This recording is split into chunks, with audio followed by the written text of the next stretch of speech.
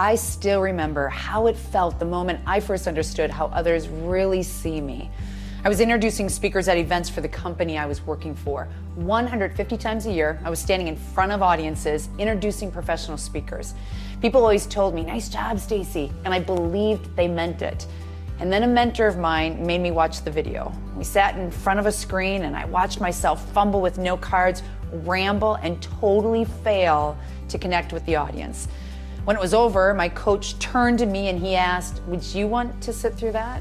My first thought was, absolutely not. My second thought was, I have to get better at this.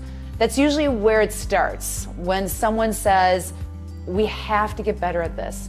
No matter how knowledgeable you are in your industry, and no matter how hard you work, if you can't influence, you can't do your job effectively.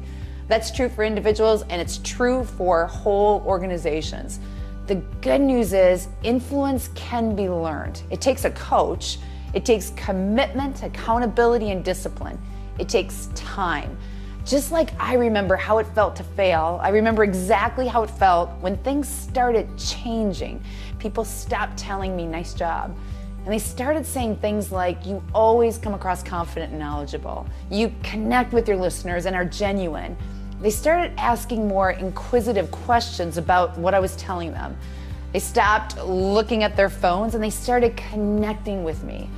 That's the change that I've experienced. And that's the change I want you to experience too. This is not about preparing for a meeting, this is about preparing for every interaction.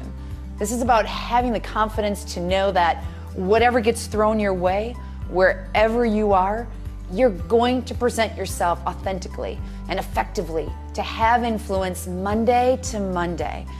You can't sell, you can't serve, and you can't lead until you can connect and build trust.